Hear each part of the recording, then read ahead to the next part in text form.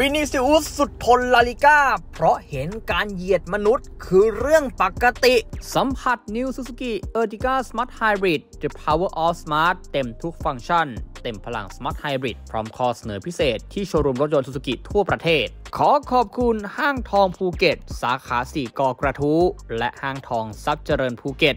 ตอนนี้มีลายทองเข้ามาใหม่ที่ร้าน สามารถเข้ามาดูได้ หรือติดตามที่ทางแฟนเพจ Facebook ตามนี้เลยครับ สวัสดีครับ ขอต้อนรับเข้าสู่ช่องของ r a c e r b e n Official เป็นประเด็นร้อนแรงและก็สุดดราม่ามาก ๆ นะครับ เมื่อทางลาลิก้าสเปนครับ เห็นว่าการเหยียดมนุษย์ การเหยียดผิว การเหยียดว่าเป็นลิงร้องเจี๊ยกใส่นักเตะ เป็นเรื่องปกติครับ คิดเห็นอย่างไรเกี่ยวกับเรื่องนี้ คอมเมนต์มาได้เลยนะครับผม เรียกว่าเป็นสิ่งที่น่าเกลียดทุเรศทุรังเป็นอย่างมากครับวินิซิอุสนะครับถึงกับร้องไห้ในสนามครับ หลังจากที่ถูกเหยียดผิวอย่างหนักมากๆครับ ถูกแฟนบอลของบาเลนเซียครับทุกคนว่ามึงมันไอลิงตั้งแต่อยู่บนรถบัสแล้วนะครับผม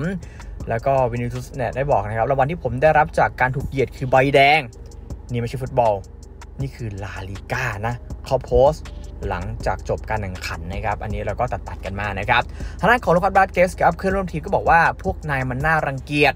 ด่าแฟนบอลในสนามเมสตาย่า stadium นะครับที่เหยียดผิววินิซิอุส คือทำท่าลิงล้อเลียนแบบว่าเหมือนกินกล้วย แล้วก็เจี๊ยกเจี๊ยกเจี๊ยกใส่นะครับว่าไอ้ดำไอ้ลิงกังแบบนี้ครับ นะฮะแต่หนึ่งคนครับที่สันดานเสียแย่แต่จัดคือฆาเบียร์ เตบาส ประธานของลาลิก้าสเปนนะครับได้พูดถึงเรื่องนี้นะแล้วก็โจมตีไปที่วินิซิอุสจูเนียร์คนนี้แทนนะครับเขาบอกว่าเอ้าก็คุณมาโพสต์ตำหนิสโลแกนของลาลิก้าที่ทำไม่ได้ตามที่พูดไงก็นะแล้วก็เรื่องของการเหยียดมนุษย์การเหยียดคนมันก็เป็นเรื่องปกติ ใครเขาก็ทำกันนะ โอ้โห พูดออกมาได้ยังไงครับว่า ปกติก็ทำกันนะครับวินิซิอุสครับได้พูดถึงเรื่องนี้นะครับว่าเป็นอีกครั้งที่คุณทำแบบนี้ แทนที่จะประณามการเหยียดผิว คุณกลับใช้โซเชียลมีเดียมาโจมตีผมกลับเนี่ยนะคุณแกล้งทำเป็นไม่รับรู้ คุณกำลังทำให้หลีกดูแย่ลงนะ และผมไม่ใช่เพื่อนคุณที่ต้องมาพูดเรื่องนี้ มันไม่ใช่เรื่องตลกนะ ที่จะมาพูดกันแบบนี้ คิดว่าเป็นเรื่องปกติหรอมันไม่ใช่ ผมแค่ต้องการให้คุณทำอะไรสักอย่าง และก็มีบทลงโทษอย่างชัดเจน เพราะว่าบางลีกก็อย่างอังกฤษเนี่ยเขาเรียกแฟนบอลมาครับแล้วก็ลงโทษลงโทษปรับเงินห้ามเข้าสนามเลย แต่ทางกลับกันนะครับลาลิก้าเนี่ยคาเบติอัสมองว่าเป็นเรื่องปกติครับหลังจากนั้นมาครับสมาคมฟุตบอลสเปนเนี่ยก็แถลงเกี่ยวกับเหตุการณ์ดังกล่าว ว่าสมาคมรู้สึกตกใจ และเรียกร้องให้ทุกสโมสร ร่วมมือกันแก้ไขปัญหานะครับและก็ล่าสุดครับ ประธานาธิบดีของบราซิล กล่าวถึงเรื่องนี้ครับที่วินิซิอุสเนี่ยถูกเหยียดเลยนะครับว่าวินิซิอุสคือเด็กที่น่าสงสาร คือนักเตะที่ดีที่สุดในโลกของบราซิล แล้วก็เรอัลมาดริดเราไม่ยอมให้มีการเหยียดในสนามแบบนี้เกิดขึ้นนะครับทำให้วินิซิอุสเนี่ยออกมาโพสต์นะครับว่า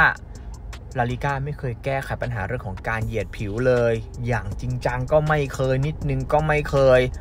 และเขาคนนี้ถูกตกเป็นเป้าของแฟนบอล แถมคาเบเตบัสเนี่ย ยังให้ท้ายเห็นดีเห็นงามว่าเป็นเรื่องปกติไปซะอีก โอเคครับ ผลสกอร์เนี่ยมาดริดแพ้ไป 1-0 แต่การถูกเหยียดแบบนี้มันแย่จัดจัดๆกันเดียวนะฮะทำให้วินิซิอุสเนี่ย ออกมาบอกนะครับว่าเขาก็อยากลาลาลิก้าเหมือนกัน คือเขาทนไม่ไหวเขารักมาดริดนะ แต่เจอแบบนี้ก็ไม่ไหวเหมือนกันนะครับ มาถึงนาทีที่ 98 ครับวินิซิอุสเนี่ยไม่ไหวเลยครับ หัวร้อนน็อตหลุดนะครับผม และสุดท้ายเนี่ยมีปัญหากระทบกระทั่งกับอูโกดูโรจนเจ้าตัวเนี่ยถูกใบแดงแล้วออกจากสนามไปนะครับ และก็นี่ไม่ใช่ครั้งแรกครั้งที่ 2 ครั้งที่ 3 ครั้งที่4ครั้งที่5วินิซิอุสเนี่ยโดนมาบ่อยมากครับเกี่ยวกับการโดนเหยียด ซึ่งทุกครั้งคือการเล่นที่ลาลิก้าสเปนเมื่อเขาเป็นทีมเยือนนะครับ ก็จะเกิดเหตุแบบนี้บ่อยครั้ง เจอกับแอตมาดริดก็โดน เจอกับทีมไหนก็โดน โดนเหยียดว่าทำแบบกินกล้วย ไอลิงกัง ไอ้ดำไอลิงสกปรกแบบนี้ตลอดนะครับวินิซิอุสครับก็เลยโพสต์ลง IG นะครับว่าลีกนี้นะ เคยมีโรนัลดินโญมีคริสเตียโนโรนัลโดมีดิเออร์เนลเมซี่มีโรนัลโด R nine เต็มไปหมดแต่ทุกวันนี้ลีกนี้เป็นที่แห่งไอ้พวกชอบเหยียดผิว และประธานาธิกามองว่าเรื่องเหยียดผิวเป็นเรื่องปกติของมนุษย์ ประเทศนี้สวยงามนะ แต่ว่าการเหยียดผิวแบบนี้ผมรับไม่ได้จริง ๆ ขอประนามการเหยียดผิวแบบนี้ ผมเหนื่อยกับสิ่งที่มันเกิดขึ้น อันเชลติครับที่เป็นกุนซือของมาดริดเนี่ยก็พยายามอธิบายกับผู้ตัดสิน แต่ทำยังไงได้เลยครับ คนที่ให้ท้าย คนที่เห็นดีเห็นงามก็คือคาเบเตบัสใครจะทำอะไรได้เลยครับผมก็เรียกว่าสิ่งนี้กับสิ่งที่มันเกิดขึ้น มันคือสิ่งที่แย่มากๆครับ เรายังไม่อยากให้ใครมาดูถูก ไม่อยากให้ใครมาบูลลี่ แล้วนี่ครับนักฟุตบอลระดับโลก